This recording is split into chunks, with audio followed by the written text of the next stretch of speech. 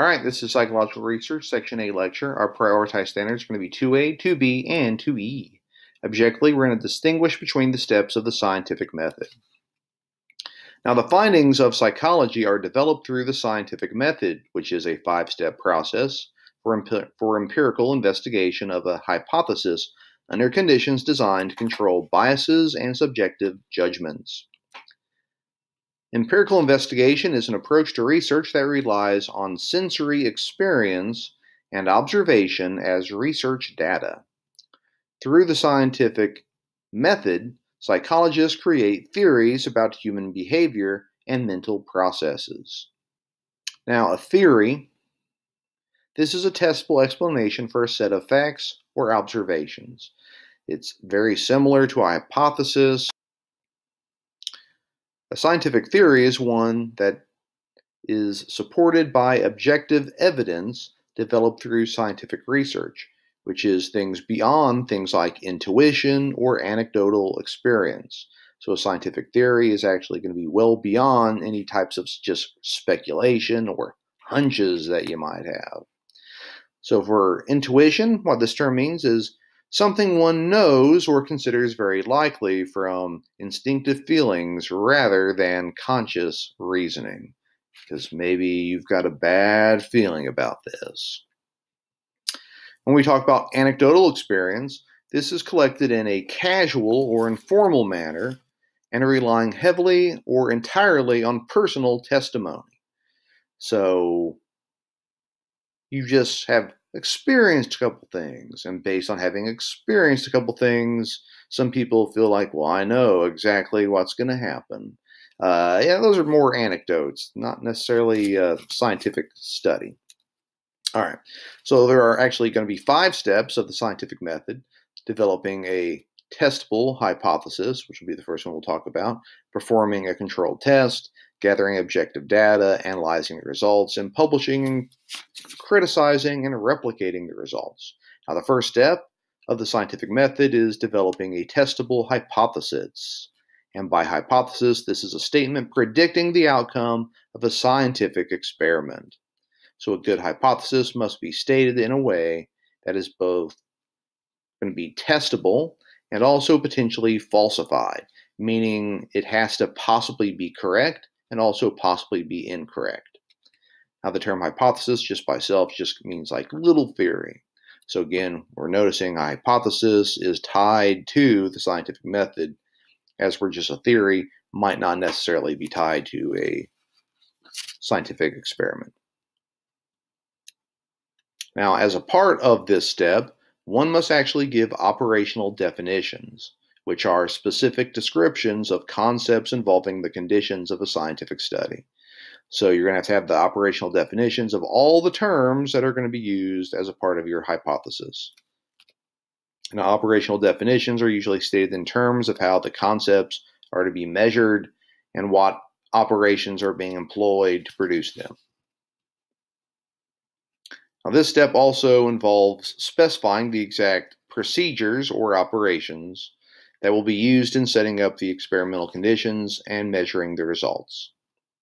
Now, the second step of the scientific method is performing a controlled test.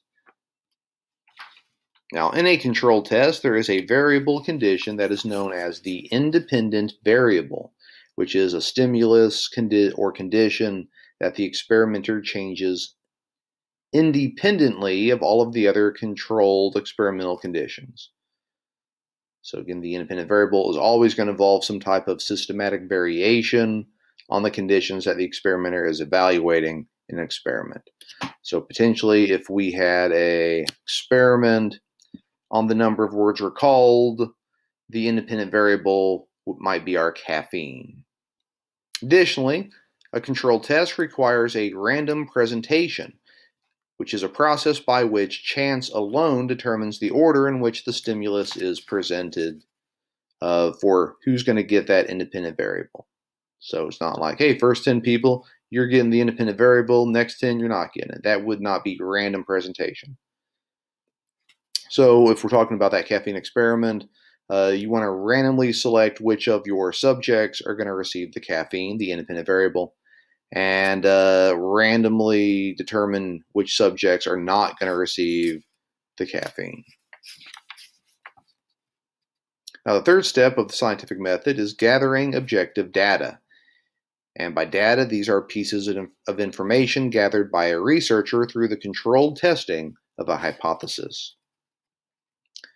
Now, the measured outcome of responses, or rather responses, of the subjects of a study is going to be referred to as the dependent variable.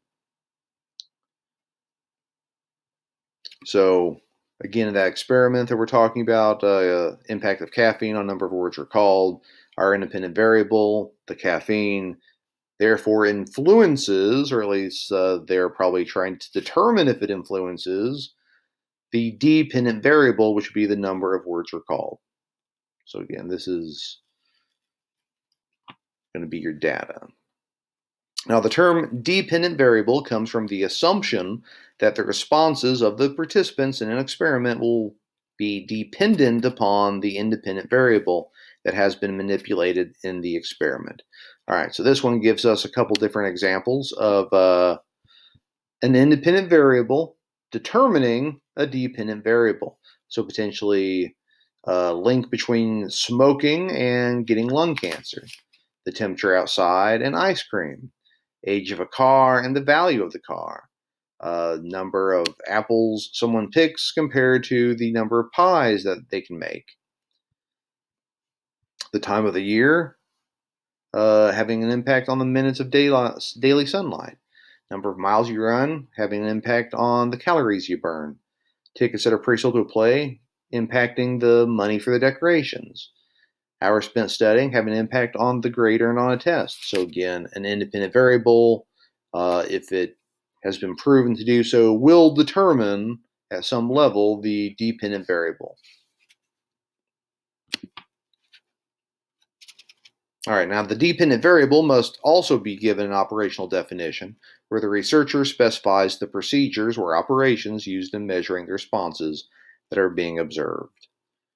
So like our independent variable, other, you might call that the exposure variable, uh, control variable, explanatory variable, manipulated variable.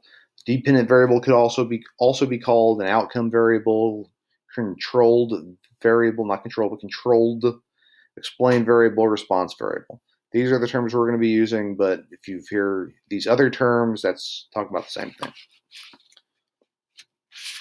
Now, the fourth step of the scientific method is analyzing the results, which will allow the researcher to either accept or reject the hypothesis.